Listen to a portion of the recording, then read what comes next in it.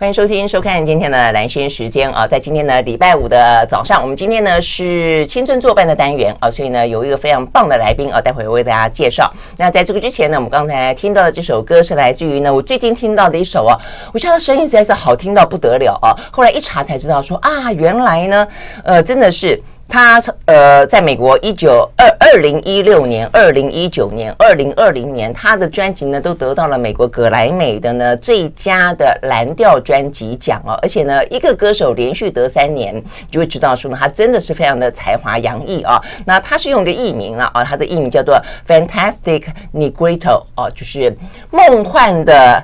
翻译成内格里托，那事实上 Negrito 事实上是一个黑人的意思啦。哦，他自己本身就是黑人哦，但他用这种方式去讲，就不会有一个被歧视的感觉。他认为他所有的歌都是呢黑人音乐当中的音乐的根源啊，一个来由，所以他也是立志啊，想要把这样子的一个属于音呃黑人的节奏、黑人的音乐感，呃，透过呢现代的一些编曲啊，跟一些创作啊，能够呢传递出去啊。所以呢，他的歌曲呢横跨了蓝调啦、RMB 啦，还有就所谓的根源音乐、草根音乐。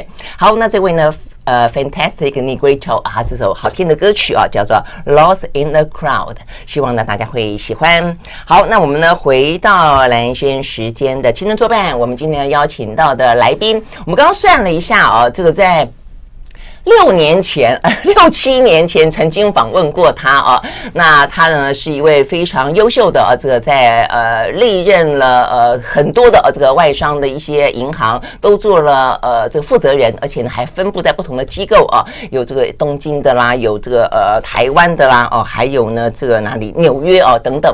那呃七年前他出了一本叫做《荧光盔甲》啊，七年后他出了一本叫做《胡子狐狸》不是胡子狐狸与狮子啊，谈到的是跨国金融家给一流人的修炼智慧。我们现场邀请到的是吴君庞大哥。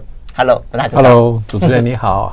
对，很开心啊，是转眼间呢过了七年，但是呢，呃，这个吴大哥也没什么变就是了。哦，谢谢你，你也没什么变。真的吗？好，谢谢谢。所以显然呢，这个呃退休的生活过得还蛮好的。好，所以我们聊聊，就是嗯。其实我我觉得我看了你这个十三个故事，十三个故事很像人家那种什么呃什么天方夜谭呐啊，这一零一个故事啊，这好像可以继续聊下去的感觉。就是其实故事呃比也不能讲不能比，就是说我听说很精彩，而且我觉得那个对于人的描述跟这一些过去的一些嗯你的生活的样态描述，我觉得更更洗练。然后呢，好多你里面讲到的人。我都觉得好像在眼前呢。嗯嗯嗯嗯，所以其实好，所以过去这些年你一直都专营在写小说吗？退休之后？没有没有没有，我没那么厉害，我没那么厉害。我觉得呃，过去几年我算是离开了一个朝九晚五的工作环境。嗯，那至于是不是退休呢？其实我还有做很多其他的工作。对，我记得那时候你跟我说退休，我我记得我问过你会不会觉得很无聊，然后你就说试试看吧，看看呃一段时间。但是后来我看了你，就是因为这本书，我看了你过去这段时间经历，你有在工作啊？对啊，所以你有在工作。所以说，只是只是不是做一个朝九晚五的工作，但是我还有做很多的工作。嗯，那我这工作里面内容包括很多，我做很多的阅读，然后帮人家做一些咨询顾问，然后我还有做一些公司。呃，就是上市公司治理方面的这个董事会的运作啊，所以我觉得时间上来讲，我觉得我的时间我还感觉到比以前上班更不够用啊。因为以前上班反正你就是去了，然后到中午休息，然后下午怎么有开会啊，什么就是有一个自式的行程在走。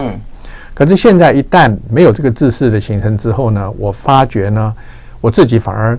很敦促自己，觉得时间不对，时间不够，时间来不及了。反正我还觉得以前上班比较比较比较放松，觉得反正照着朝九晚五，班照表操课的感觉。对，然后就是该开的会，秘书帮我安排的行程，我就照着走。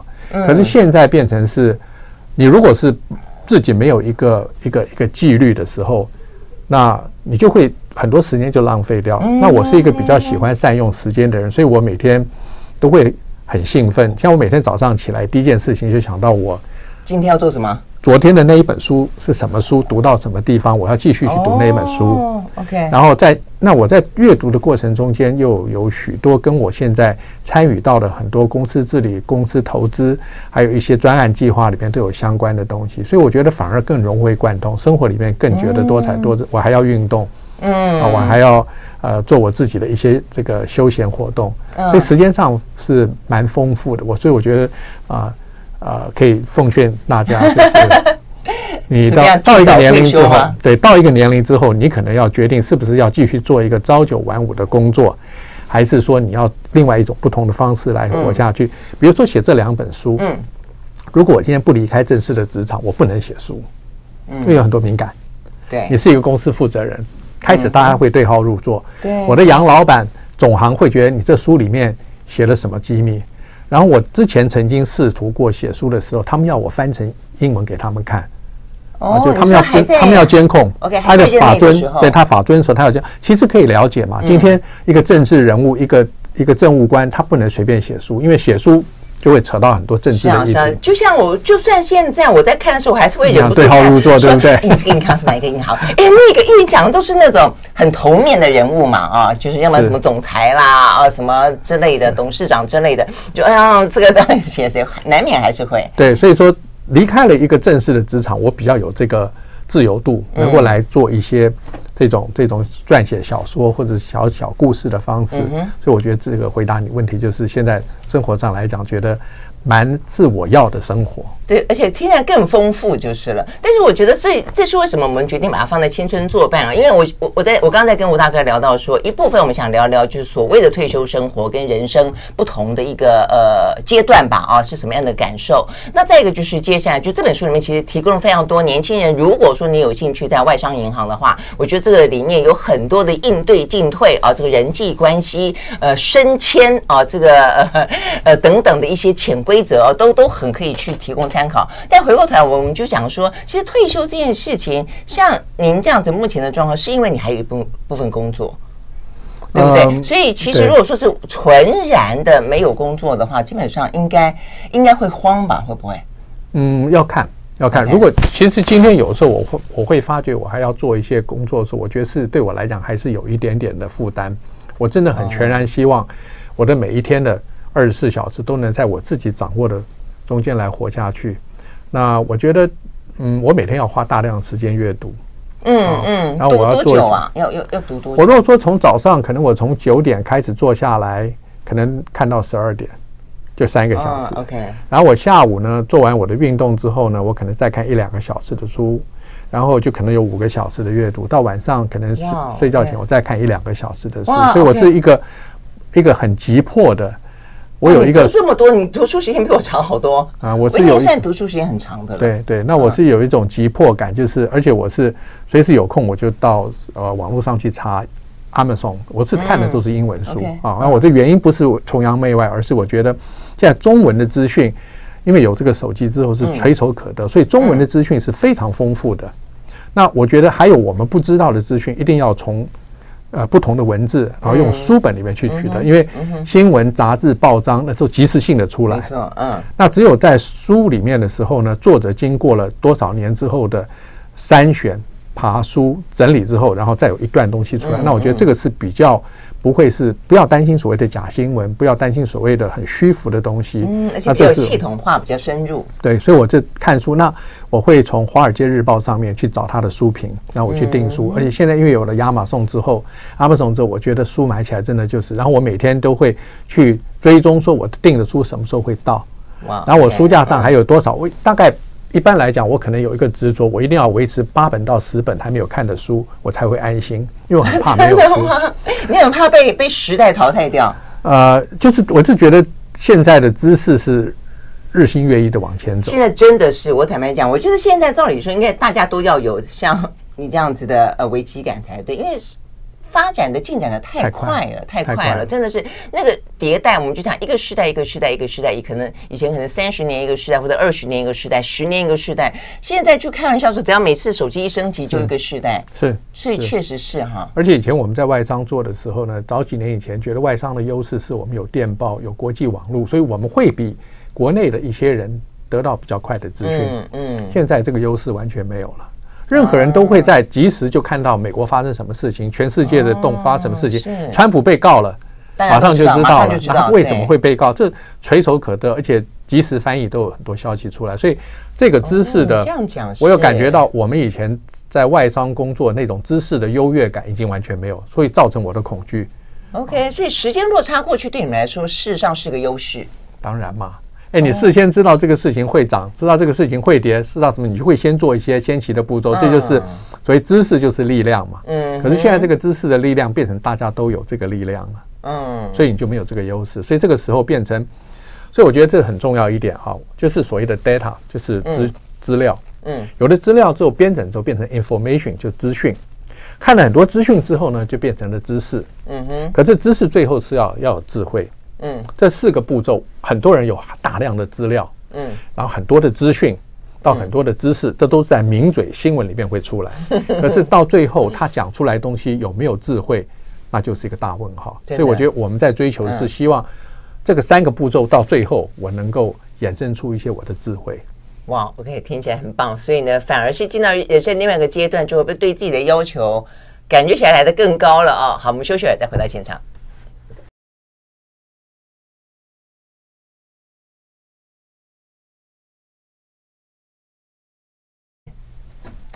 好，回到雷轩时间，继续和现场邀请到的啊呃这本书《狐狸与狮子》的作者啊，这个吴军庞来聊天。他的话呢是呃外商银行非常的就是呃历任非常多重要的这个国际之间的外商银行呃退下来的非常重要的负责人啊。那当然这本书里面就是提供很多呢呃离开了职场之后有一点点距离呃的一些观察跟智慧啊。那我们待会会跟大家聊。那只是说我们刚刚顺道就聊到说。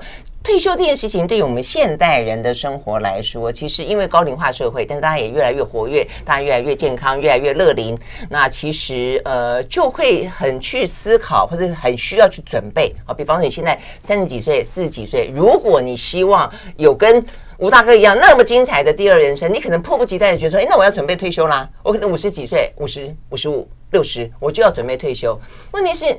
哪那么简单？您得要让自己呢有财富自由嘛啊，或者你要有让自己有一技之长，可以在你所谓的离开朝九晚五的工作之后，你有另外一种工作形态。我觉得这真的蛮重要，另外一种工作形态。所以我自己也常常在想象说，如果我要有另外一种工作形态，会是什么形态？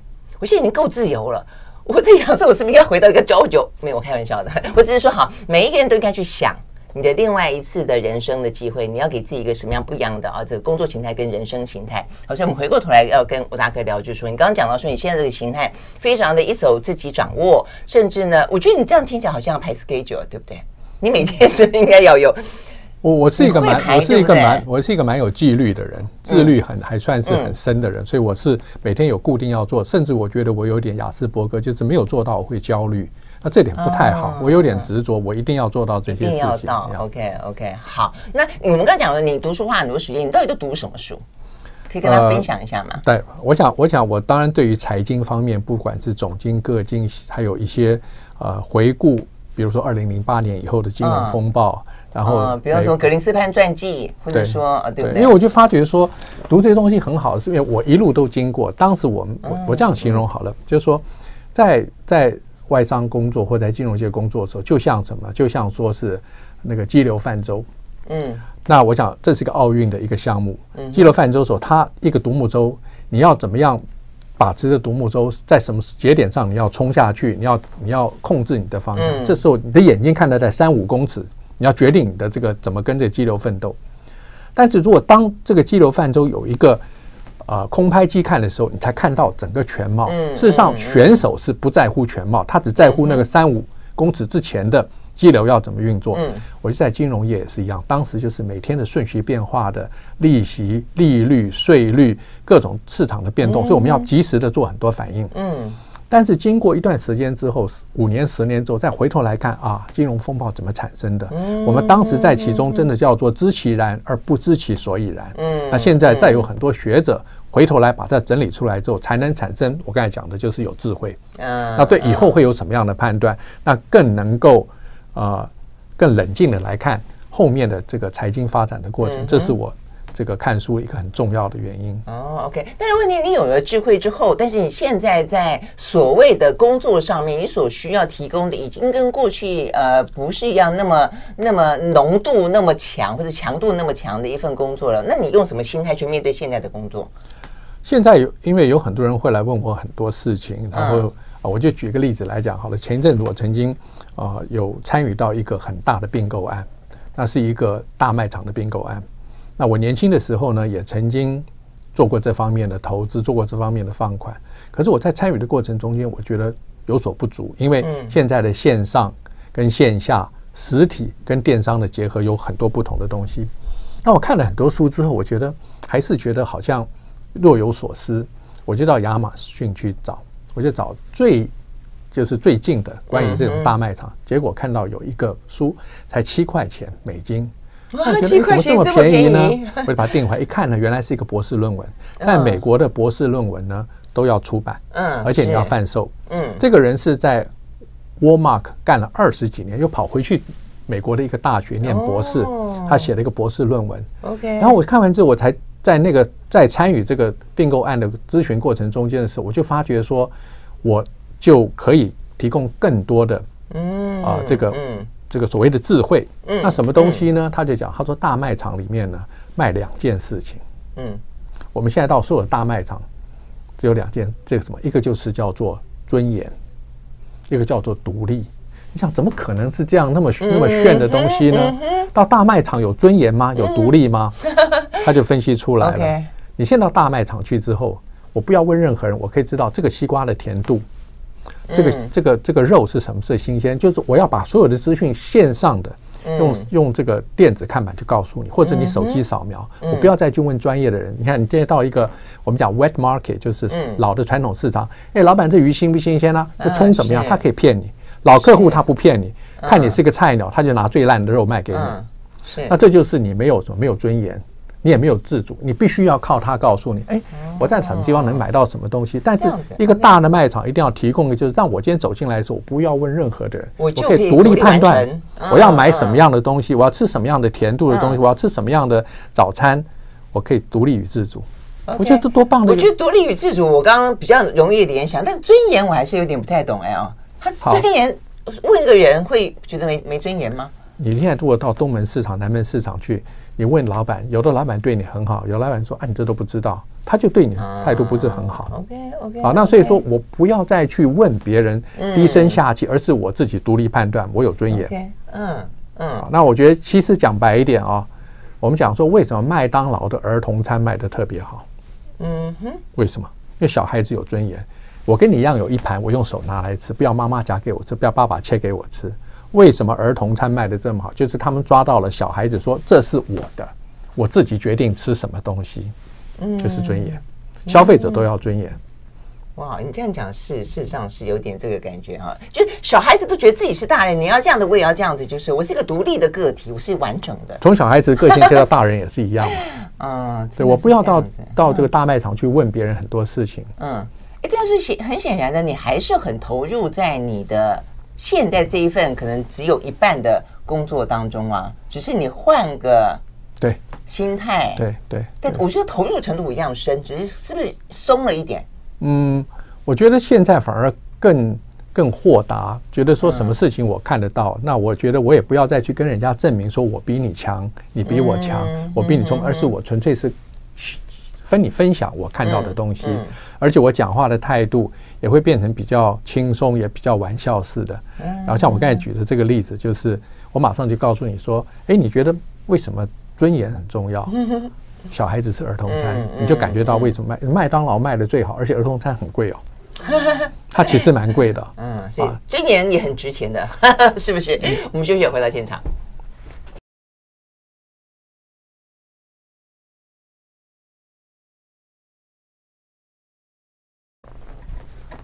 好，回到蓝轩时间，继续和现场邀请到的啊，这个吴军庞，他是呢，在过去啊，这个整个的质押的经历当中是非常多啊，这些跨国企业、跨国金融的呃这个负责人啊，那他最近写了一本书，叫做《狐狸与狮子》啊。那我们刚刚聊到这个进入到第二人生，你现在的心态跟你这样的规划，我弟说每一天每一天是这样规划，但就一段时，我觉得就这一块就是生与死、临终前的这一块，你觉得你有什么不一样的感受吗？有因为我因为我看你呃，就是第一个，你有你有去很认真去学乐器，你也运动，就是你让自己的这一块人变得非常的丰富。然后另外你也用比较豁达的呃这个态度去面对，包括自己的身体一定会比较可能逐渐的呃虚弱吧啊，或者说自己的父母亲的生与死这一部分的课题，你觉得？我觉得这是一个很好的问题啊。嗯。那我们是我是都一直在做财经界，所以我们就拿数字来来做一个比喻啊。嗯。嗯，你这个蛋糕可以吃吃一半。嗯哼。啊，这个蛋糕全是你的，嗯。这个蛋糕你只能有三分之一。如果这个三个同样的解释的时候，嗯哼。就蛋糕全是我的棒啊，嗯。我有一半也不错，但蛋糕只有三分之一的时候，你有什么感觉？就觉得嗯少了好多。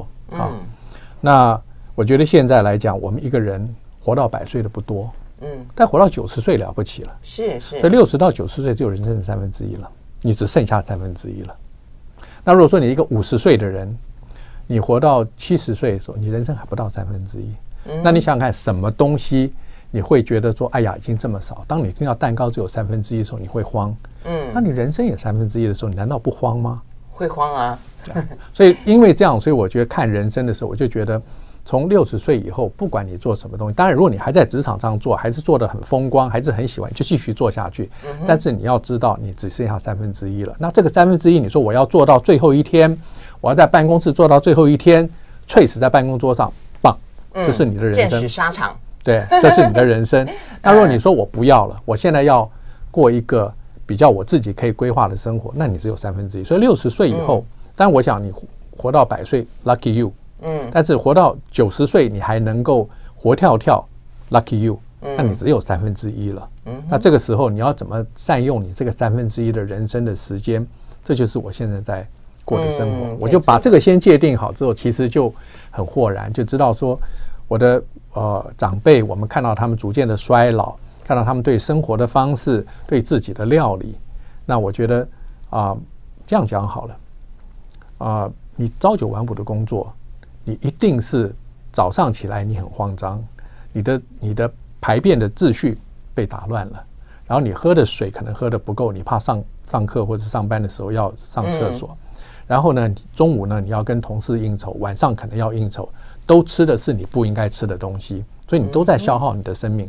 但是如果你一旦不要在这个格局里面的时候，早上起来很舒服，吃一个很好的早餐，然后好好的看书，中午吃一个很简单的午餐，非常健康的午餐。晚上如果说够饱了之后，就不要再吃了，变成过午不食。你没有那些应酬了，生活变得很健康。然后你固定啊，我就跟你讲一件事情，我现在每天基本上原则上保保持走一个小时的路，OK，用走的，嗯所以你的运动就是走路。除了走路之外，还有别的运动。嗯但我有一个很重要就是走路。但我后来就发觉说，诶，如果我在上班的时候，我一个小时坐在那边开会，多么的不健康。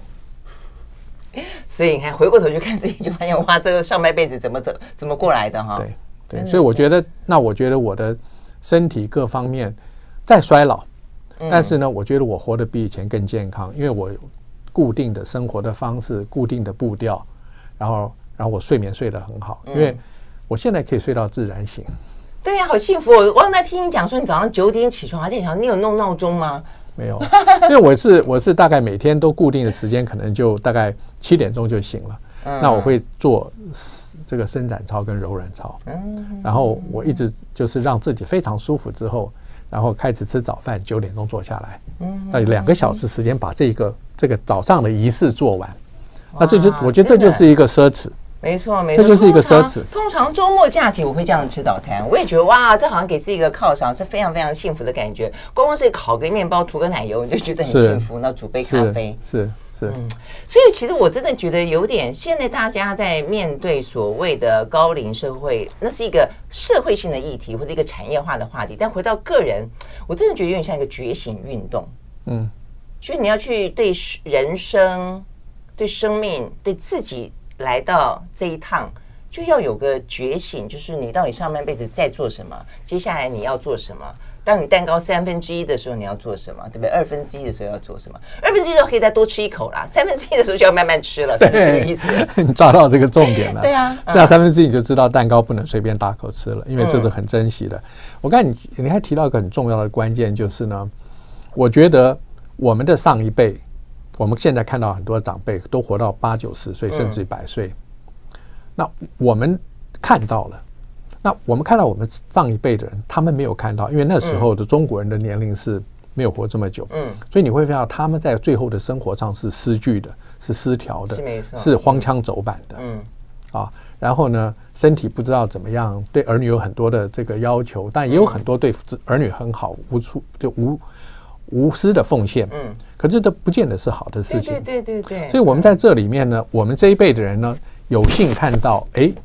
这个这个医学的进步、健康的进步、医疗体系的进步，让很多的人，我们的长辈身边的人会活得比较久。嗯，那从他们身上，我们学到了什么东西？是。那我看到很多的报章、媒体、杂志，最后的这个临终的照顾，最后的这个 say goodbye，很多的东西。嗯，那这都是我们学习的过程。那我想，这个就是在每一个人，不管你现在四十岁、五十岁、六十岁、七十岁，终究要面对这个事情，就是说，你最后这个。二分之一、三分之一、四分之一，你要怎么来过？你要说我就是要做到最后一刻，我在工作上鞠躬尽瘁，那是你的选择。嗯，那每个人不，我没有讲对错，对每个人的选择，但就自己要清楚，这个要想过，就是我也我也觉得，我我老觉得父母亲像一面镜子，就让我们看到了，就让我们看到了，呃，接下来我们可能未来的自己。然后我一直觉得很遗憾，他们没有机会做好太多的准备。嗯，所以呢，对我们来说，如果我们我们那么的在乎他们在眼前引领我们走的这一段的话，我们会很对不起父母亲，对不对？对，我觉得结论太好了。我们休息再回来。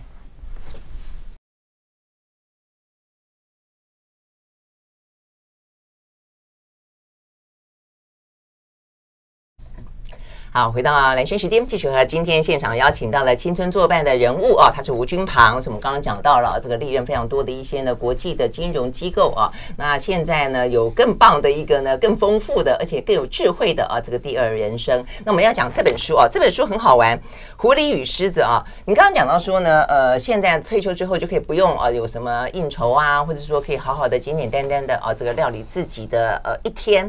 我看你这本书，一个一开始就有个很大的疑问，你不太应酬，对，所以你已经算很少应酬了。但是怎么敢不要应酬啊？尤其是呃外商公司，那我们也知道老外啊，不管是老外，还包括你的大中华区在日本，其实都会难免要有应酬的。所以我觉得这本书啊，其实蛮有意思，就是说。呃，吴大哥，就是你，你就是观察了一些外商银行当中的人际关系、升迁的状况，跟他们经营的手法等等等，但也描述了很多的一些工作的文化。像这些部分，就是变成说你要看得懂，然后要能够玩得开，然后呢，你还可以不断往往上爬。我觉得这点，我我我觉得还很值得跟大家分享了哦。所以呢，就是说，现在比较年轻的朋友还在职场上面啊，这个驰骋的朋友，还希望能够有呃攻下更多个山头的朋友，我觉得很值得来看看这本书啊。好，所以怎么样子可以做到不应酬，然后但是还可以还可以。跟他们打成一片，然后成为自己人。你你当然第一篇就有一个很很好玩的例子，叫做小声说话，大声笑。哎，我后来在看的时候，我在心里面模拟这个状况。比方说啊，如果你看到我跟吴大哥两个人突然之间啊，这个有点靠的比较近了，很小声说话，突然间两个人就爆笑了起来，你会不会觉得我们两个很熟？对，这个就是我的第一篇，对不对？破题的故事叫小声讲话，大声笑。那在这个里面，我觉得其实这个故事，我每一篇故事都有一个很特殊的金融的背景，嗯啊，然后里面呢，我就写到这个里面，就是说你要怎么样破除一个在社交场合的尴尬、不安、焦躁。我相信每一个人在鸡尾酒会里面都不舒服，即便你做到负责人了、总经理了，什么都还是一样吗？还是一样，因为有的时候你觉得这个人来跟我讲话，讲的什么东西，我要跟他怎么样应对？我应该是。敷衍他呢，还是真正跟他好好讲话呢？事实上有很多的东西，这个这个障碍在里面，所以我不晓得。至少我个人来讲，参加这种活动是一种负担。嗯，我我不晓得有什么人，当然有一些人了哈。我想现在媒体上很多诈骗集团，那那种人在那种场合可是如鱼得水，嗯，对，跟所有的人交换名片，跟所有人都来照片啊，然后他跟所有人都很熟，但他有他的目的。但我们如果不是一个诈骗犯的时候，我很难想象一个人在这种地方会很愉快。所以我这本故事里面的第一个故事叫“小镇讲话大声笑”，就是告诉你说你怎么样在这个职场上面。那我有一个小故事来告诉你，让你知道说有什么样的诀窍，让你能够啊。破除这个盲点，然后可以达到你应酬的目的，但是又不要太折损你的人寿，是真的这个样子。哎，但是这是已经去了啊，这个去了以后呢，呃，面对一些重要的人物，可以用这样子的一个小秘诀。但是每一个，我觉得在职场上面的呃应酬是，你怎么拿捏这个要去，那个不要去？我觉得这个已经是一个最基本的难难题了。是，我觉得这个东西是很难的东西。那当然，有的时候你要想到说，别人邀请你。你到了或不到了，有没有重点？其实我我的感觉上是这样，你一定要到哦，你不来大家会很失望哦。嗯，其实你没有到，谁也不记得你，不差你这一个人。有的时候你说你要早走，你怎么可以早走呢？这样很扫兴呢。可你走完以后，第一秒钟大家继续玩欢乐，没有你的存在。所以我后来就发觉这种话术说我们等你哦，没有你我们会失望哦，一定要你出现，那都是场面话。他们在那一群人玩的非常开心的，所以不要认为说我一定要到，你没有那么重要，这是我觉得真的可以这样的想吗？嗯，真的可以这样想，真的是这样。像像我我我看你这边讲，比方说呃，这个有有纽约来的哦，这个大老板就跟你说啊，这个我们下次一定要再约，你你就觉得说啊，这个他可能一转身就忘了，是真的是这样子，真的是这样子。我觉得啊，其实。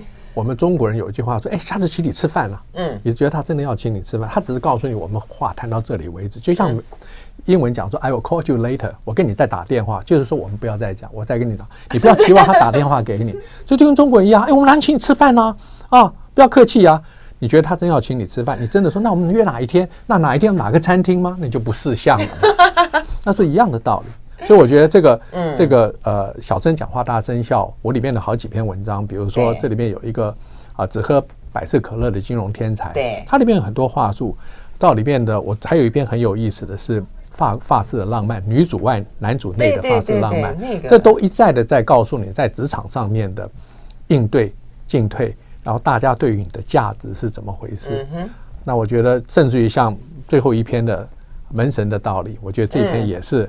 我我每一篇故事都希望在最后的结局的时候突然停掉，我不想要给你太多的结论，然后变下一留下一个空谷回音，自己去想。那我觉得读者这样子才能够用这个读书跟阅读的方式得到一点智慧。我很希望这个智慧的产生不是我告诉你的，而是你从故事的阅读之后衍生出来你自己的一些观点，就叫啊 viewpoint 观点。嗯嗯，那这是最重要的。嗯嗯，真的，因为我觉得在职场上面，嗯，你其实社交被有些人会很看重，或者说会被认为说它是一个在职场工作表现之外一个非常重要的一个升迁的利器，或者一个人际关系当中的一个必要的润滑剂。像我也是一个不爱应酬的人，所以我这方面我就会觉得说，哎，我这个压力好好大，我觉得可以不要去啊。但不要去，你会有个压力，说那不要去，人家会不会觉得我不合群啊？啊，比方之类的。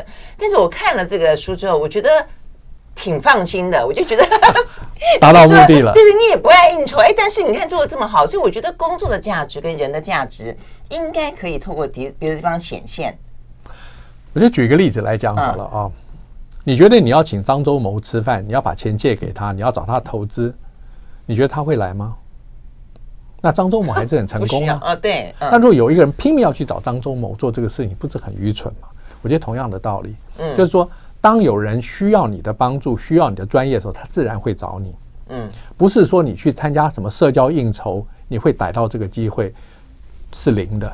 是 zero 没有这个可能性，zero 到 zero 的程度，没有没有这个可能性。不会有一个人说我在场合跟你素昧平生，跟你喝了一个香槟酒，就发觉你是个不是奇才，我一定要把你延揽来做我的顾问。没有这种事情，我一辈子没有看过，嗯没有这种事情，你也不会做这种事情。说我这个人不从来不认识，突然跟他喝了一杯酒之后，大家觉得哎呀相见恨晚，我们从此要这个做拜把兄弟，也没有这种，这种都是流氓嘛。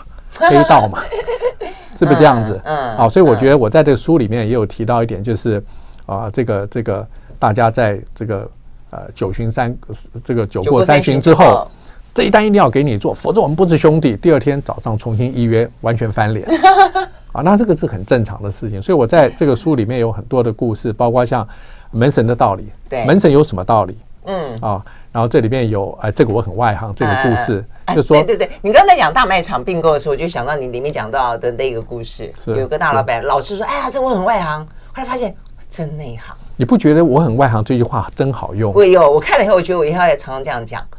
对，应该要学到，这就是智慧嘛，这就是智慧。OK，我们休息了再回来。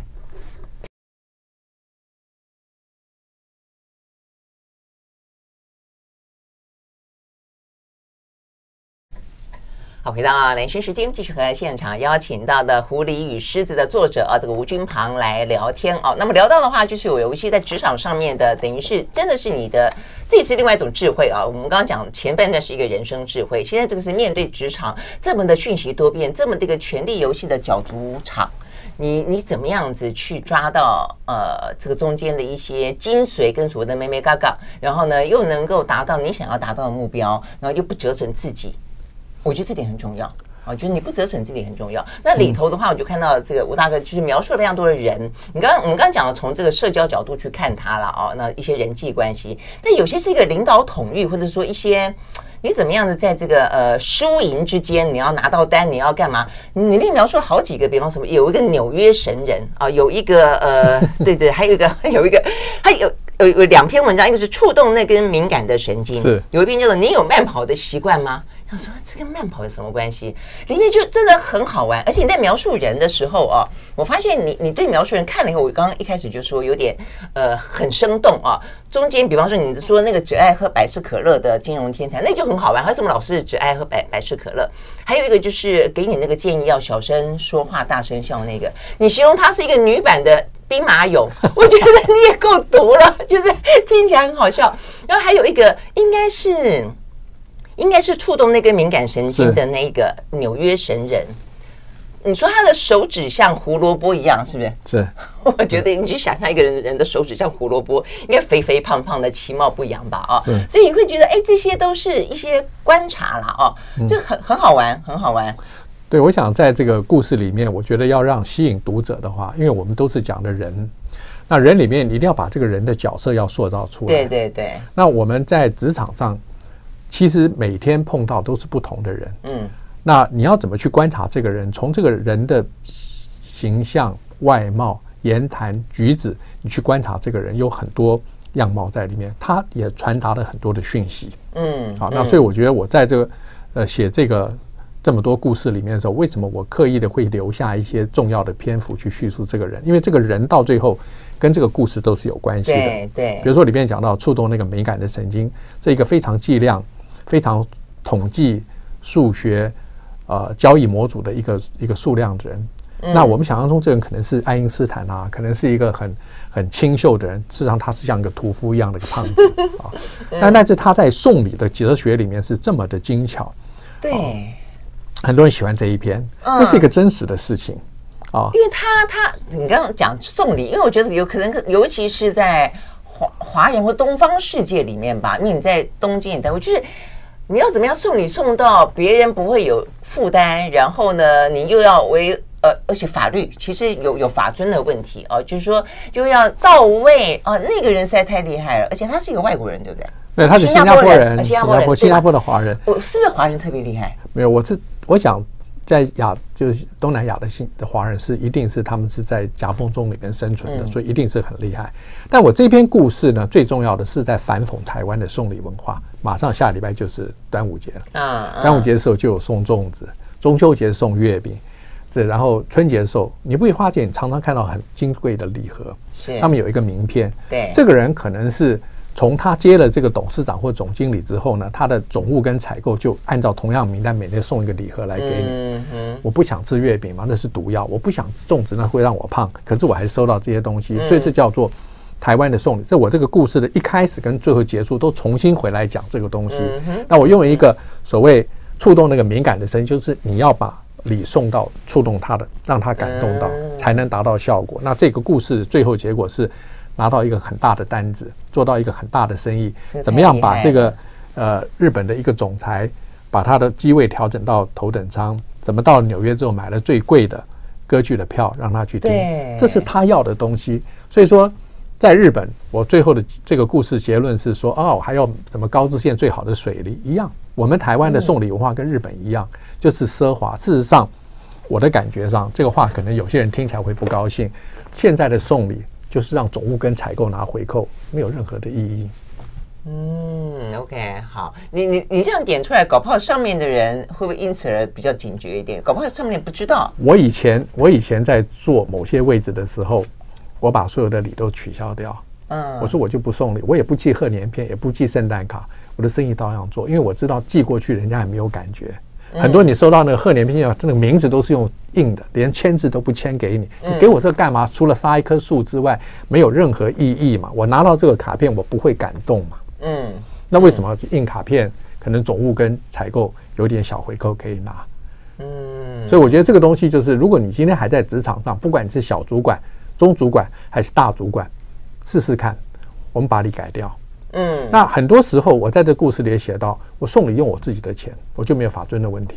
嗯，我不要用公司的钱，我真的觉得你是一个很重要的人，我把你当朋友，我送你一份礼。嗯，我用我自己的钱，我没有法尊的问题。嗯，所以你看到那种大量采购礼盒，那都是用公司的钱，他也没感觉，客人也没感觉。是，就是就是你要冲到心坎里嘛，对不对啊？所以所以这个故事里面讲到说，他也厉害，就他就知道他爱听歌剧。就日本那位总裁。现在你的重要的客户，他的喜好，你如果用心一点，在网络上都查得到嘛。嗯，这个总裁喜欢听歌剧，这个人喜欢喝茶，这个人喜欢干什么东西？嗯，那你如果真的想要送一个到他心坎的东西，一定知道投怎么如何投其所好，而不是送一个啊某某什么什么呃最棒的金钻的凤梨酥或者是月一盒月饼，不见得。嗯嗯，不，你刚刚讲的里面带有一点点讽刺啊，就是说待了那么久啊的部分，那个你有慢跑的习惯我吗？我我我这个就比较明显，更看得出来了，就是在华人社会里面，好像有不少是会，就是他会调来调去，所以他在不同的地方是会有不同的呃租屋津贴或者不同的呃房子是。所以这个这个故事蛮好笑的，但因为我们时间的关系啊，这个呃听众朋友有兴趣可以去看一下。总而言之呢，吴君鹏在那个时候呢，被赋予了一个很重要的任务，就是要会慢跑，然后呢没事跑跑跑 跑到他那一个呃 主管的呃别墅看一看，是就他这看一看，他所以他要你去当有点像 spy 对不对？也不是啦，其实基本上来讲就是。这个是一个违反了一个外商租房子的这个这个这个策略啊，或者这个这个规则。嗯，那所以说呢，在这个里面，你变成一个中级主管，你要怎么样在这里面做一个应对？实际上，我这个故事的叙述也是在叙述说，这些高层在刀枪刀光剑影的厮杀的时候，有时候会杀到你头上。那你要怎么样躲掉这一关？嗯，我想这也是让读者会有一个特别的感觉。对对，而且他们那些人在在你刚刚讲这个在刀光剑影的时候，这个讲话也都是不露不露痕迹的啊，这个太厉害了。这个讲就是很多笑面虎，真的吗？很多笑面虎。好，所以最后的话，如果说要给一些呢这个年轻朋友一些职场上的建议的话，你会觉得有什么特别的？嗯，应对进退或者有一些呃游戏规则是他们可以去遵遵从的。好问题，嗯，我觉得一句话讲，多读书。当你有了底气之后，在任何场合突然脑筋里面的读到的知识会出来，你就有智慧应对。所以我觉得倒不需要很刻意的说去学一些人际的关系，而是当你有底气的时候，你就会有很多的这个知识跟很多的智慧，不要太闲。不要太凸显，但是慢慢的露出来一点。主管会看得到。我就带过人，我知道这个人聪不聪明，这个人有没有读过书，他有没有底气，一闻就知道。这样子哈，所以主管都会都会注意到这些人吗？就像你在上课的时候，如果你在讲台上面，哪一个人在偷看手机，哪个人在打瞌睡，你一目了然。真的是。Ok 好所以呢多读书啊这个这样子的话呢我们的阅读单元呢更值得大家来收听的。Ok 好非常非常谢谢吴大哥到我们的现场来谢谢谢谢拜拜。I like